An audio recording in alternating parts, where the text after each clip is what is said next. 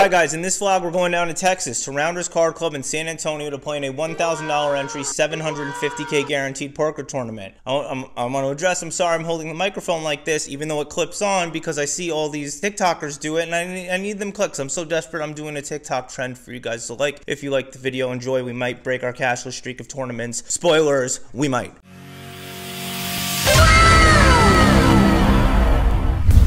Pimps? That's my new catchphrase. What up, pimps? We're going to Texas, to Rounders, to San Antonio in a rapid fire weekend. 6.30 a.m. We're playing like three day ones, well, hopefully only one day one. Let me, let's not get it twisted. But we're getting to San Antonio to Rounders Card Club, invited by the club and our boy, Bet on Drew, fellow ACR Team Pro. We're gonna play some 1K, 750K guaranteed. We're on a bad streak. Let's avenge the Borgata, not cashes. Let's avenge the Triton, not cashes. Let's not punt. Let's stay focused. See you soon,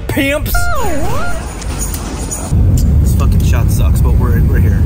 Drew and his girlfriend Hannah, but I'm staying with them. I double checked last year, we got 15th for 12,400. First was 200K. Yeah, rounders, rounders, rounders, rounders, rounders. Pay that man his money. Hi, Drew. What a guy. I was expecting you to maybe have a pickup truck, like to have gotten fully Texas. For the vlog, Yeah, you want to say something? I mean, it's just for the vlog. We get the high noon reunion. Thanks to Bet on Drew for making it all happen. You know, we're gonna we're gonna have a have a moment here with this love boat. Drew with the Hattori Hanzo. We made it to his house. Thank you. And here's Noodles. He knows to be careful around the sword. That's so sick. Mincy's a little tilted because he has a bet. I got BYU plus fifteen hundred money line against Oklahoma. Who finds this stuff? Oh yes, it's on a draw, third and seventeen. You just run and punt. There's five forty go, damn ball game. Go for it. Quit being bitches. We'll see how this works out. I predict not well. But... And guess what happened? When you punt, it's a 25 point underdog when you're down seven with five minutes to go. Well, they didn't get the ball back. Way to, way to play to win, Claudius Taki. Here we are. AutoZone. I already made that joke. Fuck me. We're with Drew. Wow. $1,000 entry. 750k guaranteed. Rounders Texas Poker Championship. Sitting down with 25 big blinds, 50k in our stack at 2k big blind. Fuller one of one, hopefully. We're here. Right off the rip, we win a small guy with ace queen getting value on the river with top pair, and then immediately lose what we profited in a flip with our pocket tens versus this dickhead's ace jack. We go on to then play pocket eights like shit, and now we're down to 30k or 15 big blinds. We then go all in with ace nine off, and double up. So after all that, we're back still at starting stack. We just got a surprise coffee. We were lurking on break for coffee, and then it just got just like, who's Ryan? Who the fuck is Ryan? You got a coffee for you paid for. I feel like a cute girl at the bar. With blinds at 1K, 2500 with a 2500 big blind ante. Early position raises to 6K. It folds to us in the small blind, and we look down at 9 8 of clubs. We go ahead and call, and we're heads up to a flop. Flop comes. Jack, 9, 2, rainbow with no club. We have middle pair. We check, and he bets meaty. He bets 10.5k into the pot of like 15k. And maybe we can fold as an exploit, but I think it's too nitty with middle pair, and obviously we can't jam. So we just go ahead and call. Now there's 36k in the pot and only 26k in our stack, but this is life when you're playing short stack tournament poker. The turn comes another jack, which is good. It makes it less likely he has a jack now. Um, so we think we very well maybe have the best hand. We check, and then he checks back. The river comes a four or some shit. We check again, hoping he'll check back and we just win at showdown, but he puts us all in. He jams our 26k. And when he bets big on flop, then checks and bets big again on the river, his hand is sort of face up and hard to find bluffs. Like he should be scared that we might have a jack and be trapping or that that, you know, think we have a nine a lot and we're gonna call. So we eventually find the call. We find out he has kings. We feel stupid as shit. We probably punted. Re-entry is now closed on the first flight, so we have to enter the later one, and we're starting nearly from the beginning. Long grind ahead of us. Fast version of this bullet is one that we try to bluff Ebony Kenny with Ace King and a nut flush blocker. That failed. And then with around 21 big blinds, we rejam with pocket sixes, and Billy gives us the option if we want him to call or not. I'm gonna leave it up to you. You want me to call? Whatever you want me to do. Uh, yeah, with that attitude, yeah. Since I assume we're flipping when you ask like that, I'm like, yeah, thank you, yeah. All right. Now we're out. Just gonna regroup and then we're hopping back in in a sec. Two of four bullets down. One was a punt, one one wasn't. All right, bullet three. Here's the new table. Easy math. We have 50k in chips and the big blind's 1k. One punt, one not punt. Legal THC straight to your doorstep. That feels illegal. Blinds are 600, 1200, 1200. We have 42k in our stack. It folds to us in the cutoff. We look down at pocket threes and we raise it up. The button then three bets us to 7k. It's not really relevant, but this is like the third time he's three bet us. Usually people aren't fucking with you, but this may be relevant here. I don't know. We call. We can never fold off of 35 big blinds with a baby pocket pair facing a three bet. GTO actually says jam, but fuck that. We're just going to call and try to flop a set. Flop comes. Seven, five, three. Let's fucking go. We check. He bets 7k. And we probably could check raise because there's a flush drawn board, but we decide to just call. You can't really fuck it up when you flop a set. We call. Now there's 31k in the pot, 27k in our stack. Turn comes to 8. We check again. He jams at 27k. And obviously we beat him in the pot calling. He has pocket queens.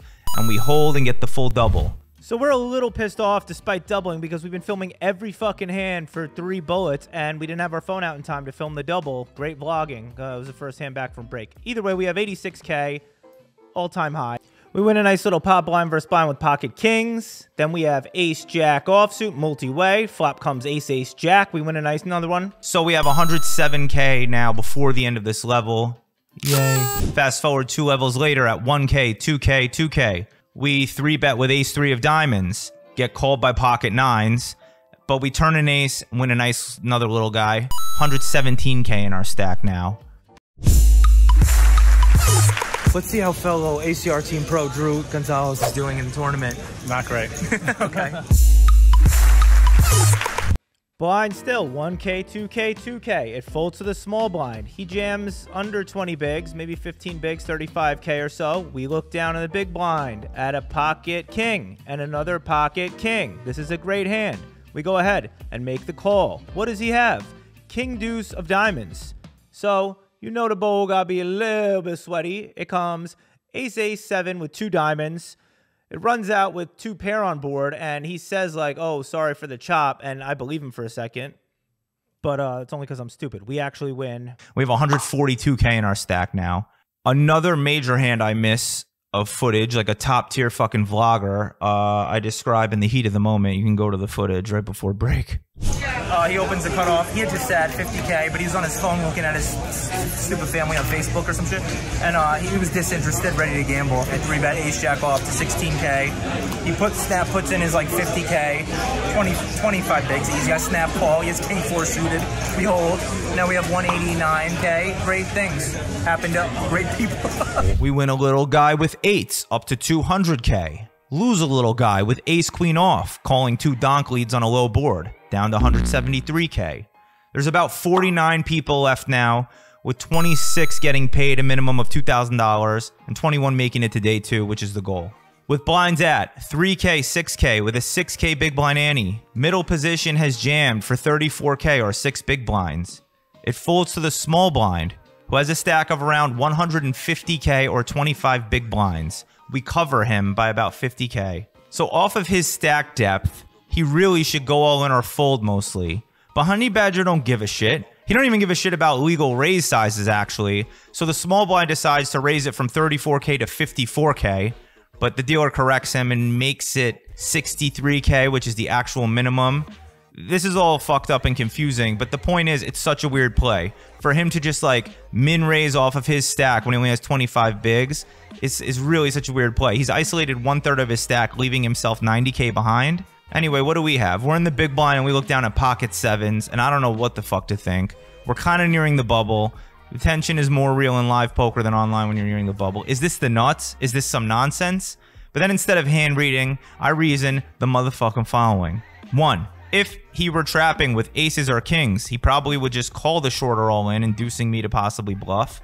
Two, if I jam and get called by him, it's only 25 big blinds with pocket sevens, which in itself is fine. Three, if he ever, ever, ever folds after doing this, we're printing. So all these make it a slam dunk jam. It normally wouldn't even be this big of a decision, but since we're approaching the bubble and it was so wacky, I just had to turn my brain on. We go ahead and jam our sevens, and much to our joy, the small blind folds. We now cannot lose this pot no matter what. We've already broken even by getting him to fold, but let's go for it all. What are we up against? Ace queen off. Go to the footage. Let's win a fucking flip.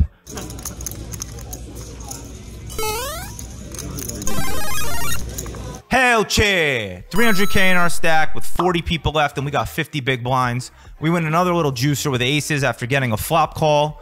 326k in our stack, feeling cocky and in control. But like Scotty Nguyen when he forgets to buy alcohol for the morning, we obviously have to fuck ourselves a little bit. So with 33 people left or so, the bubble tension is real.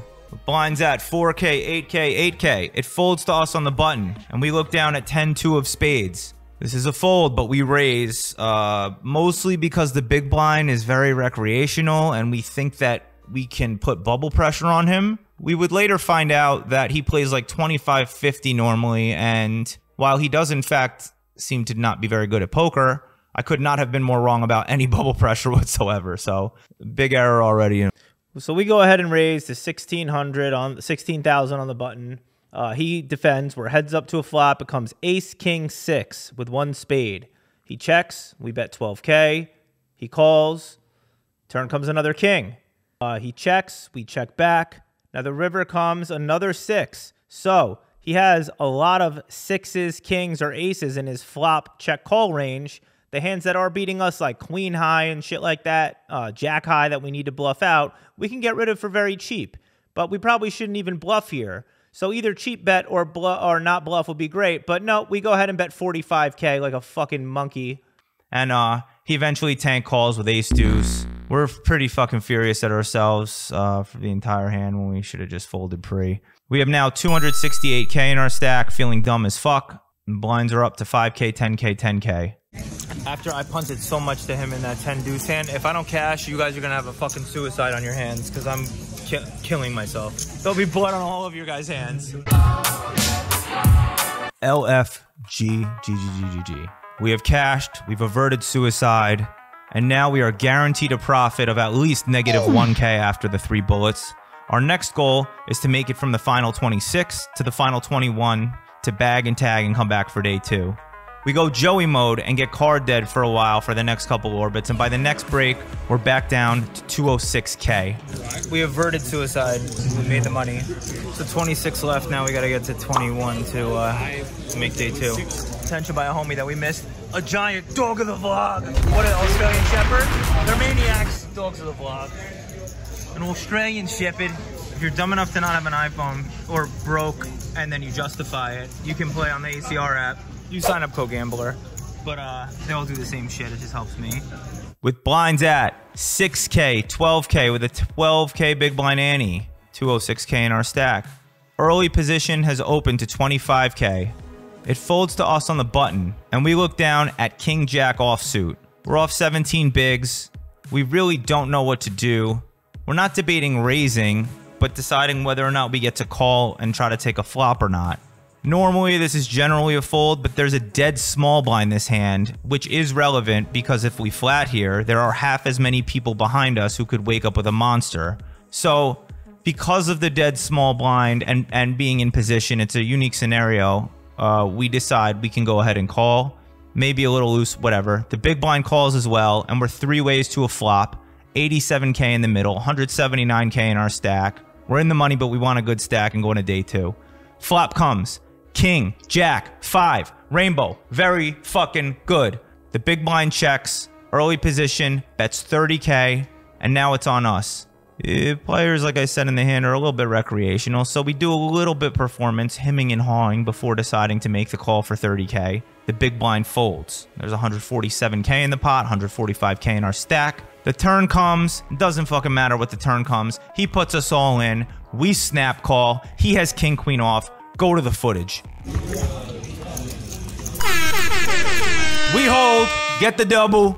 We have our peak stack of 415k at the end of the day, hand for hand, one player away from our goal of bagging and making day two. Shortly after, someone at our table gets absolutely fucked, and we have made day two. I'll show, which I'll show you next time. Thank you for watching. If you made it this far, please fucking subscribe. Thanks for watching, pussies. See you next time.